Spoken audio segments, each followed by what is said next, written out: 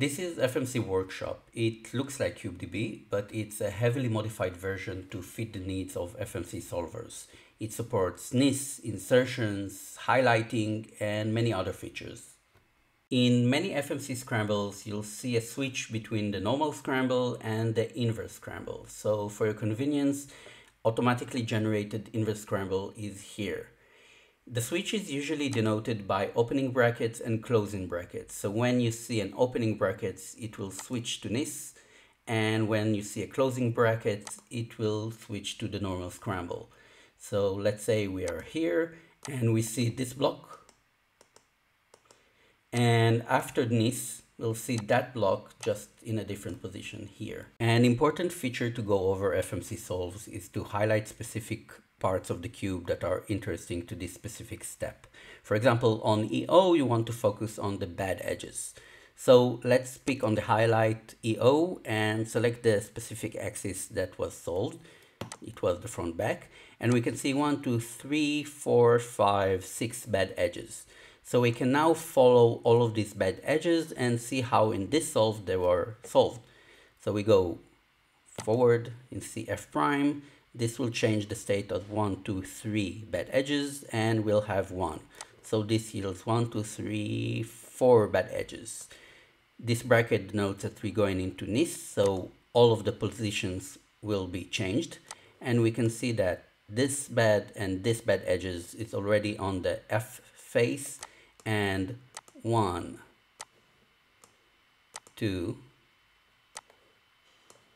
three, and all of them are on the F face and another F to solve edge orientation going out of NISS.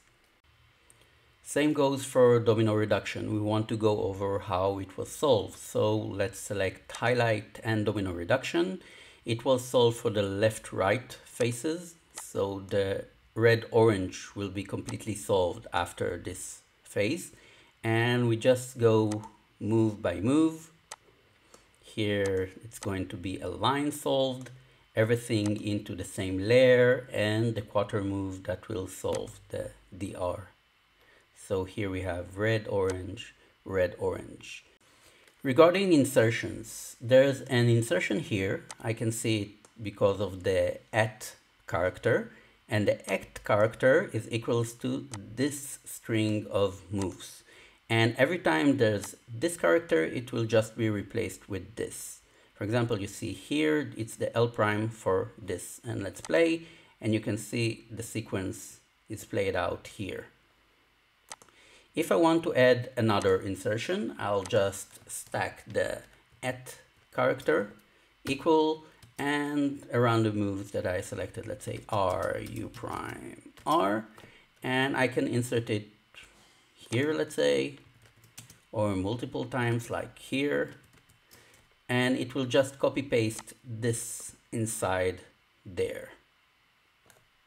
So many times we want to go over specific cube states, like here after the domino reduction or here after the edge orientation. But we cannot do it automatically because taking these specific moves will not lead us to this specific state. To do that, we need to take all of the moves that were performed on the inverse scramble, do them on a solved cube inverted, do the scramble, and then do all of the moves that are performed on the normal scramble. Or we can just click here, copy state, and it will copy everything that I just said into the clipboard. So now we can use amazing tools like Sebastiano Tronto's NISSY. Thank you for creating that.